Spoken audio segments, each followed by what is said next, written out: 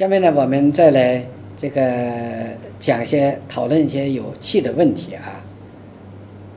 再看看呢，这个我们读一个作品，如果要进一步深入啊，它的机理不断的展开，有什么办法？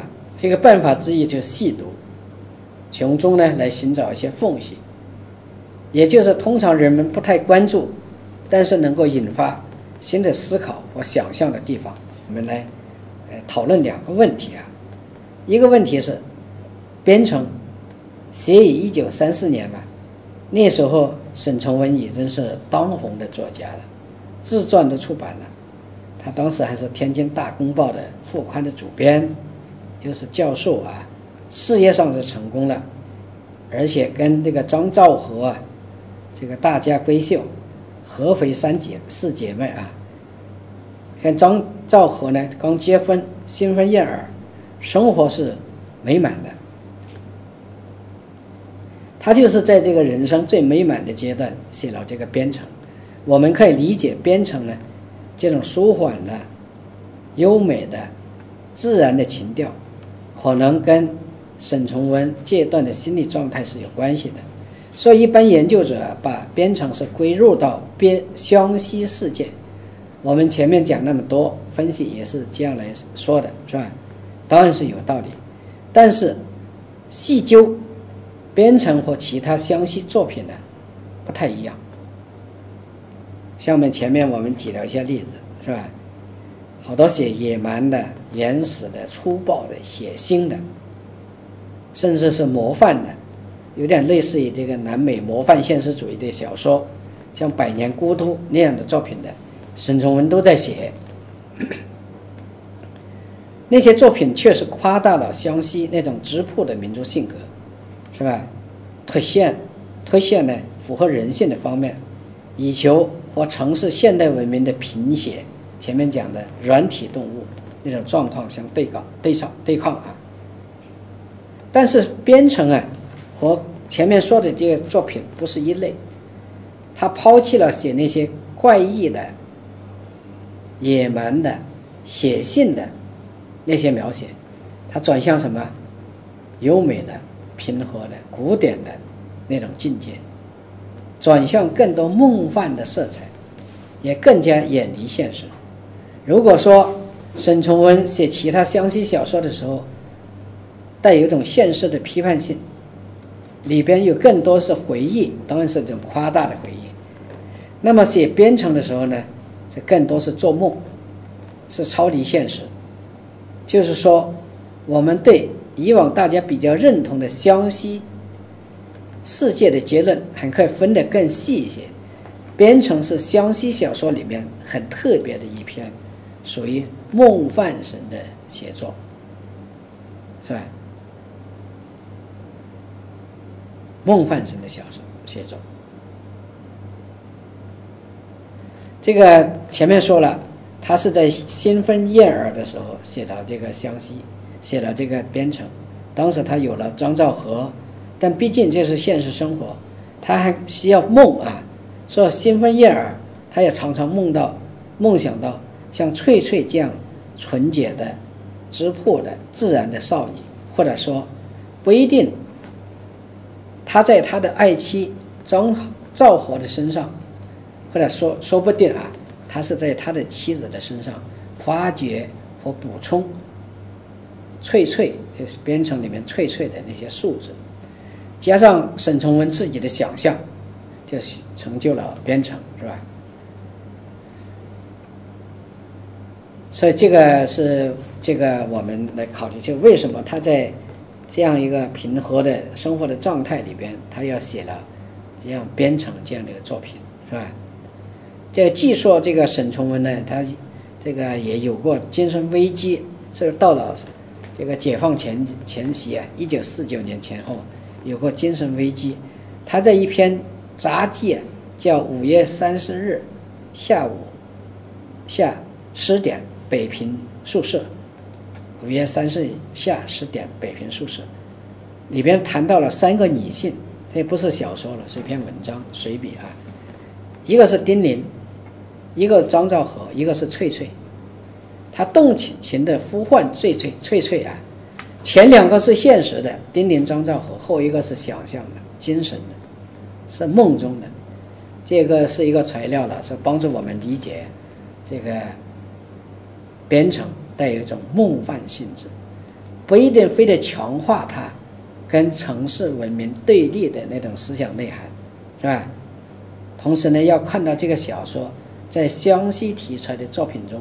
它有它的特殊性，来讲这个第一个问题就是编程，它到底是一个什么作品啊？第二个问题啊，翠翠的故事是不是有悲剧意味，是吧？有是不是不悲剧？如果有，怎么去理解产生悲剧的原因？有的人认为啊，这是人生的悲剧，认为翠翠呢是不通人事啊，她很小。她的爱情和婚姻都受到阻扰，不能够顺意，主要是因为绕到那个人事关系里边，变得不自然了，产生了很多误会，这是一种解释了啊。不过呢，也有的学者发现了，翠翠的故事里边还套有另外一个故事，故事里面套故事，就是呢他的父母的故事，小说里面没有正面写他的母亲的故事，是转述的。但这个故事，母亲的故事始终笼罩着翠翠。母亲的故事是什么呢？她的母亲呢，当初也爱上了一个当兵的。照理说，在湘西这样的环境中，这种男女之爱根本算不出什么出格的事儿。但最后不成，变成悲剧了，闹到双双寻情自杀了。为什么？啊，不知道啊。所以，这个有的学者呢认为啊，这个母亲这个故事啊，这个悲剧呢是不合这个编程的逻辑的，就做了这样的猜想：，那为什么这个翠翠她父她的父亲母亲啊，这对恋人相爱，最后要自杀，可能就是父亲不同意，是吧？就是翠翠翠母亲的父亲不同意，就外祖父。不愿意他的女儿离开，因为当兵的是机无定所，他怕他女儿离开。女儿呢，就翠翠的母亲呢，也怕离开父亲，但是已经怀上孩子了，怎么办？士兵必须开拔离开，又舍不得丢下这个恋人，左右为难，自杀了。那么这个男的已经死了，情人死了，这个女孩活着没有意思了。他想到父亲，是吧？就把这个孩子，就是翠翠，把她生下来，陪伴她的父亲，就陪伴那个外祖父，他自己也就寻情自杀了。这是一个猜想啊，小说里面并没有写。但这个猜想啊，也不是完全没有根据。这个老祖父，你看编程里写那个老祖父，那么疼翠翠，每当谈到翠翠的婚事。他都要提到翠翠的母亲，就他的女儿。他不止一次说翠翠呢，特别像他的母亲，是吧？可能是老祖父啊，当初是不愿意女儿出嫁，让成了那个悲剧，有一种负罪感。他现在对不起女儿，他现在把这种心理呢，负罪的心理，转移到折射到他的外孙女翠翠的身上了。所以他对翠翠的婚事呢，是格外的慎重的。本意是要让外孙女翠翠幸福，但太在意了，太小心了，反而坏事了，是吧？这个老这个老人呢，明明知道天宝、罗宋两兄弟都爱上了翠翠，按照当地的风俗呢，应该让女孩子自己来选择，是吧？他是少数民族嘛，反正兄弟两个选一个。可是老老祖父呢，似乎不太放手，是吧？什么车路啊、马路啊，绕来绕去，啊，他知道呢，给翠翠唱情歌的是二老，是吧？就是小的，但他愿意呢，翠翠嫁给大佬，就老大，于是呢，还是要给翠翠征求意见，说唱歌的有个走马路的兄弟怎么样？这就把事情复杂化了嘛。这这个老老祖父呢，就成了一个有机心的人。所以他外孙女的事儿呢，就给这种机心给搅黄了。所以我们是可以这样来做细读的分析啊。就沈从文在编程这样一种自然和谐的氛围中，为什么要写这种绕来绕去的、有心机的这样一个故事呢？为什么要写这样一个背后的故事？这个问题啊，没有解释，大家可以来思考，是吧？大家可以进一步来思考。以前呢，我们不太注重这些细节的矛盾，啊，的确。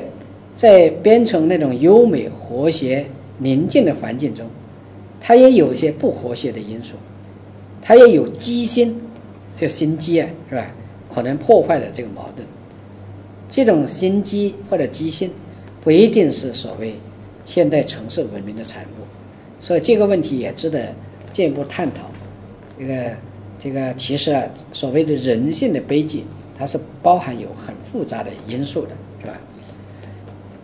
这里就顺便两个问题啊，就关于写作姿态，是吧？关于这个呃故事里边套故事啊，它的悲剧性的问题，大家就作为一个细读中一个思考吧，是吧？最后简单讲一下这个编程的文体和语言艺术。编程啊，是一部呢带有牧歌田园诗风格的一个作品。什么叫田园牧歌牧歌田园诗呢？是吧？这个是外来的一个概念。德国的哲学家和美学家叔本华曾经制制作过一张诗歌体体制级别表，就将各种基本的文体呢分类，是吧？依次呢是歌谣、田园诗、长篇小说。史诗和戏剧，它是一一级一级的。他认为戏剧啊最具有客观性，田园诗呢显然是比较靠近诗，诗当然不一定的客观性的啊。田园诗最大的特征就是牧歌情调。所谓牧歌啊，是指呢最早啊是指古希腊人描写西西里岛。牧羊人生活的那些诗歌，后来呢，这个，呃，这个维吉尔，这个一个意大利这个诗人呢，写了著名的作品叫《牧歌》，也是带有一种田园风格的。以后呢，人们就习惯了用牧歌来称赞这类作品。这类作品是什么样的呢？就是一种比较传统的诗歌啊，来表达都市人。对理想化的农牧生活的向往，叫牧歌啊。文艺复兴以后啊，出现一些专门写古代田园生活或者田园诗的散文，是吧？也是呢牧歌一类文体的引申。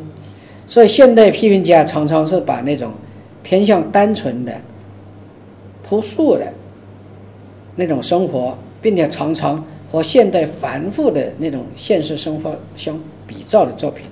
都称作为牧歌式的作品或者田园诗式的作品，所以中国现代作家一般呢都是感时忧国，很注重现实的干预，很少那种悠远的乌托邦式的那种艺术想象。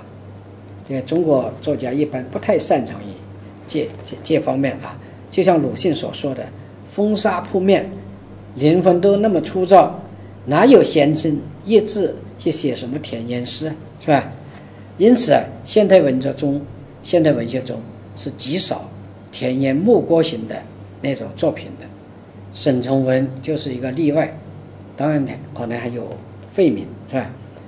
我们欣赏编程以及沈从文的其他描写湘西世界的木郭式的作品。有多种角角角度啊，有多种角度。我这里提示两点，就是呢，第一要注重自己进入阅读状态后的，最多的时候要注重自己进入状态之后的那种梦幻感和超离感。就读沈从文这类作品呢，应该体会那种梦幻感，另外有超离感，跟现实拉开距离。这对作品的审美情趣主要就在这里。作为一个极富形式感的出色的小说家，是吧？沈从文的贡献就是创造了诗意的抒情小说的文体，或者说是诗化的抒情小说体，就是前面小所讲的牧歌情调的作品，实际上是把诗和散文引进了小说，打破了三者的怪界限，扩大了小说的表现领域和审美的功能。沈从文注重写意境。注重造境，表现凡夫俗子的日常生活。这个同时呢，重在民俗，重在人情，使到优美和平庸交织在一块，那种淳朴的、健康的跟原始的、萌味的并存。沈从文的办法就是纯化，把自然景物、社会生活场景的描写，尽量的融入到。简朴的生活情致之中，人和自然合一，或者自然环境成了人人性的外化，是吧？人性的外化，像编程里面那些自然景致啊，写的那么美，就是参照作作家的感情、他的回忆、他的想象、他的美学追求的，是吧？这个自然景物和人世民俗的融合。作家的人生体验的投射，纯情人物的设置，流动的抒情的笔致，共同造成了现实和梦幻水乳交融的那种意境，是吧？所以这个我们这个感觉一下，读沈从文的小说要注重这方面去体会梦幻感、超离感。当然，跟他的语言也会造成这种感觉。前面一开始说了，他的舒缓，他的朴素，节奏比较慢，有种沉浸感，甚至呢用词有点木讷，有点迂缓，有乡下人的味道。当然，也有人说，这个沈从文的文章啊，他不完全是口语的，他带有点书面语，特别受到佛经、圣经。翻译的那种文笔的影响，哎，这也都造成一种很特殊的审美的气味，是吧？最后我要稍微提一下，沈从文的散文创作的成就也很高。他的散文呢，就像他的小说一样，是诗歌化的、诗化的问题。不过，除了惯常的诗意的抒情呢，沈从文在他的散文中喜欢夹戏夹意那种笔法。还不时以一种哲学家的姿态，在议论中融进，哎，进退易如的思考历史和生命的抽象命题。在沈从文有时候他的散文里面，经常会跳出来思考一些哲学的命题，像《湘行散记》，湘西就是这方面非常出色的作品。这这些作品呢，带有地方志的色彩。是采取地方志的一种文体的写法，但又带有这种乡土木歌的特征，是吧？因此啊，可以用这个比读他小说现实一点的期待来读他这一类散文作品，欣赏他以故乡的文学情感生活的那种篆书啊。要注意呢，沈从文是如何将湘西的人生方式通过景物的印象。人世的哀乐娓娓道来，是吧？但是呢，他的散文呢，比起小说来说，这个好像更真切，更有种历史感，当然也能够更加直接的触摸到作家的灵魂、作家的情思。所以，沈从文的散文呢，现在我们重视还不够，他也是对现代文学的一个大贡献。以上呢，我们就介绍了一个。沈从文，他的创作生平是吧？特别是他写作的姿态，呃，他的角色认知跟他创造的关系，然后我们重点的分析了编程，最后呢，我们又讲到了有编程所引起的一些问题的思考，是吧？包括呢，对沈从文这个写作，这个这个他的一些观念啊，他在当时的文学史上呢，那个特殊的地位也思考。这个沈从文呢，是一个非常特别的作家，啊，也是一个成就相当大，现在还没有引起我们充分的挖掘、充分的注意的一个作家。今天呢我们沈从文就讲到这里谢谢。